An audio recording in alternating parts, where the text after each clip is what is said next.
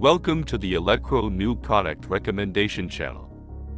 The product I want to recommend to you today is called Raspberry Pi Mini Tower Cooling Case. This video will teach you how to assemble the Raspberry Pi Mini Tower Cooling Case and demonstrate its functions. So without further ado, let's get straight to the point.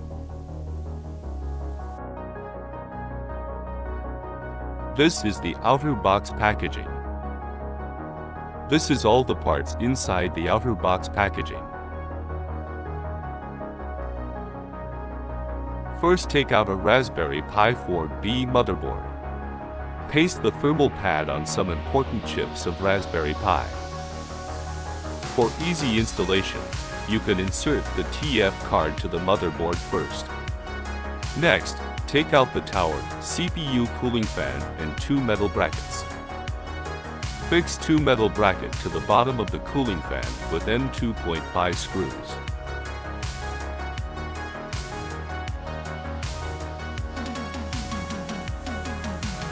Special attention should be paid to the fact that the metal bracket B should be installed at the end close to the fan.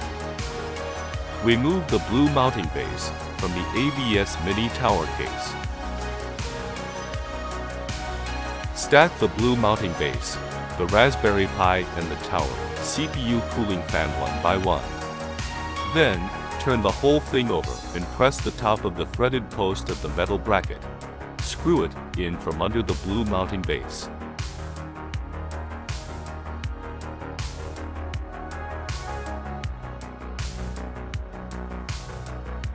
It should be noted here that the tower CPU cooling fan should face in the same direction as the Raspberry Pi power port.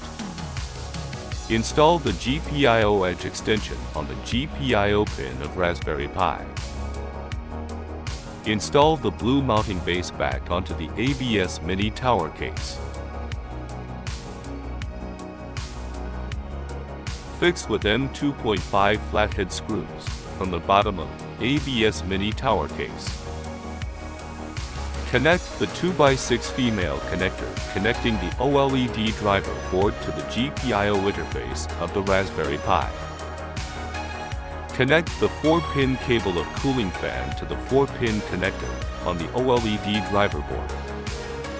Finally, take out the two transparent acrylic baffles, place them on both sides of the chassis respectively, and fix them with screws.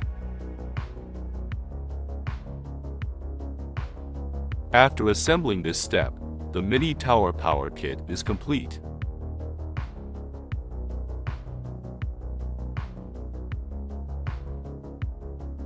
Next, let's take a look at what are the highlights of the ABS Mini Tower case. The first highlight is that the tower case has slots on all sides to make it easier for other devices to connect to the Raspberry Pi. For example, this side leads out the GPIO pins of the Raspberry Pi from the slot, which makes it easier to connect with external hardware. For another example, this side is convenient for users to insert and remove TF cards. The second highlight is that the cooling fan can be controlled by the program. When you connect the power to the Raspberry Pi, you will find that the cooling fan starts to spin up quickly after a few seconds. Then after a few seconds, the RGB light string on the cooling fan is also turned on.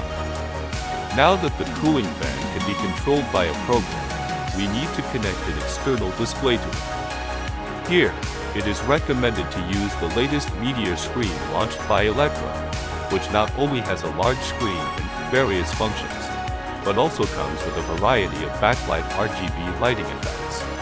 The effect after connecting the Meteor screen and the tower case looks pretty cool. Here we use Python language for programming to control the cooling fan. Change the number and the red circle to zero and run the program to control the cooling fan to stop rotating. The third highlight is the customizable display of OLED screen content. Unlike the cooling fan, the OLED screen needs to be controlled through the terminal.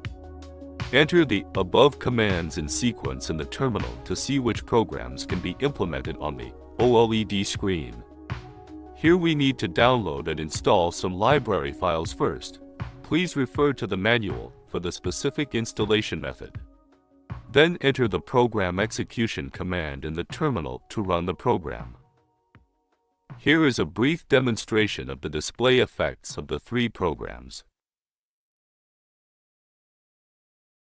Interested users can try to run other programs themselves.